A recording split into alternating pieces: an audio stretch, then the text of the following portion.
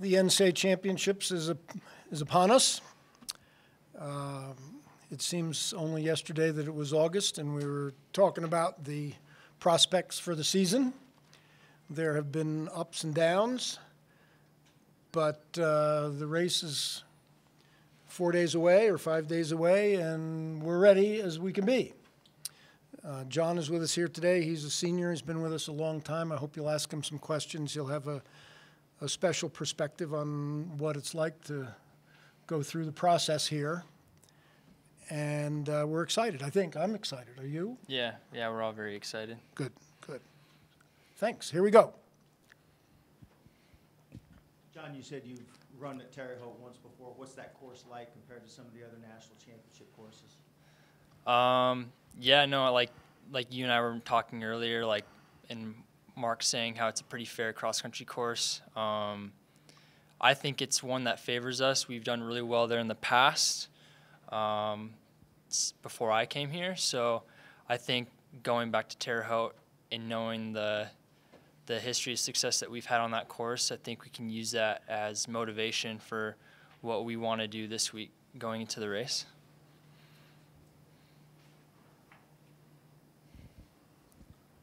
Mark, obviously, uh, uh, NAU is ranked number one right now. They looked really good in the uh, the regionals the other day. Uh, how good is that team, and um, how do you compare with them? The Northern Arizona men are probably the best team in the country. It's hard to judge the strength of teams based upon the regionals because the teams that are already strong tend to hold people out. I think Northern Arizona held a few of their varsity people out last weekend, as did BYU. Uh, we did as well, held out one athlete. So the scores of last weekend aren't very indicative of what might happen uh, next week. NAU's been untouchable all year long. I think they're ahead above most of the rest of the teams.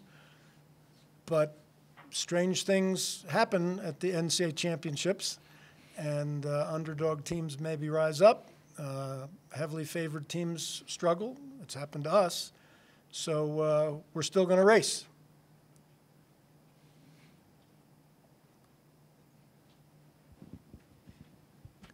What are some of those pitfalls teams can fall into at the NCAA championships?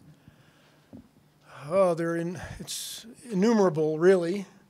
Uh, they can eat wrong, they can warm up wrong, they can go out too fast, they can go out too slow. Uh, it's different every year. John mentioned that th- this race has been at Terre Haute many times. We've done well there sometimes. We've bombed once or twice. It's easy to make a mistake.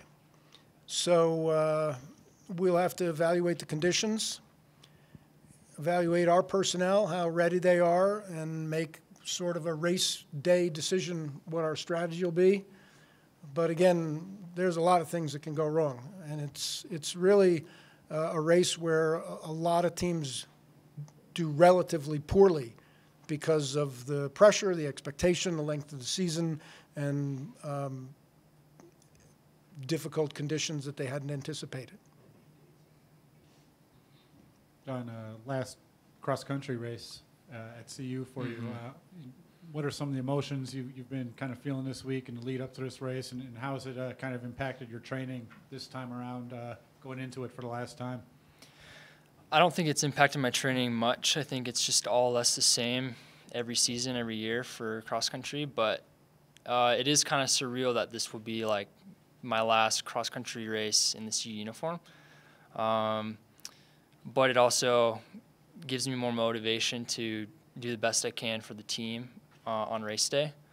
So it, it's just exciting, um, and I'm very excited for what we've done this season and what we can do this Saturday. Coach, last year the women won and it was snowing. Um, what's the weather forecast this year, and how do you think that could affect the race? Right now, the forecast is wintry, but it doesn't look like there'll be any precipitation laying around.